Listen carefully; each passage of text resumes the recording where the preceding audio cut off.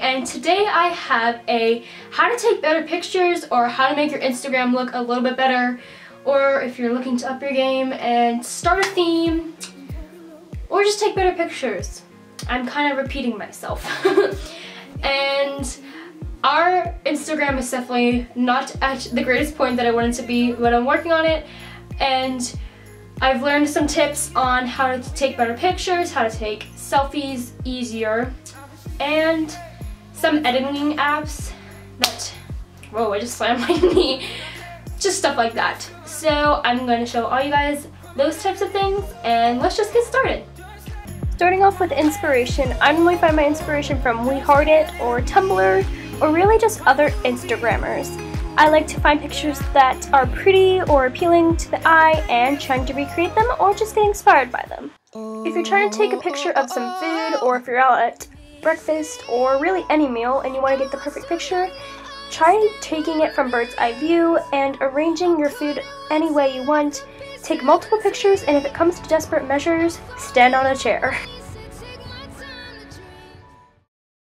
This is the classic Tumblr bed and coffee shot with your legs in it on a white comforter.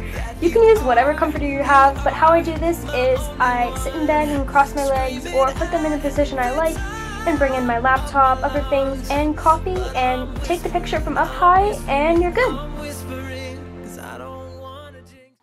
If you're looking for a different approach for the classic outfit of the day, try taking a picture of your camera above your feet and stick your butt out to get this picture and include your arm and accessory. On to apps.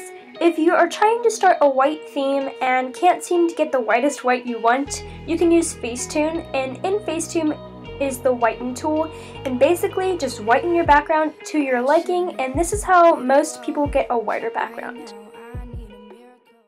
Another app that you might not know about is Snapseed. If you have a picture and don't want to oversaturate your skin but a really saturated background, you can use Snapseed and the selective tool and basically saturate the heck out of your background. This is what Alisha Marie might use to get that colorful background, but not orange skin. For a tip of more interesting and different pictures, try playing around with your backgrounds. I like using white backgrounds, brick backgrounds, colorful backgrounds, really anything you can find. Have fun with it.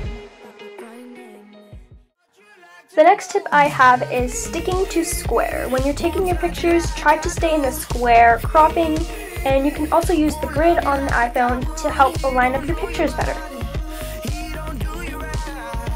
The last tip I have is if you're trying to take the perfect selfie but don't want your arms in it, plug in some earbuds to your phone and hit the upper volume or lower volume to take the picture for you. This way your arms won't be in the picture.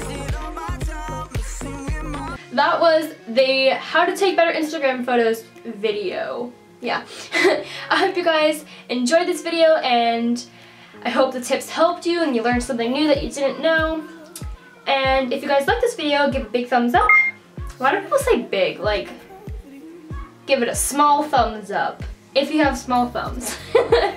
really, whatever you want. And also subscribe if you want. That just helps you get notified, or you do get notified. I can't speak. When we upload. and also, it's really appreciative of us. Okay, I can't speak.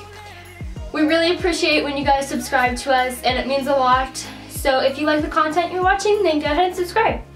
And also follow us on Instagram and Twitter at JamKayBeauty. And you can see what our Instagram actually looks like. I'm working on it, guys. I'm trying to make it better. Tell me what you think of it, because I'd like to know. And if you have any tips for the Instagram, let me know. And I think that's all I have for today. Bye, guys.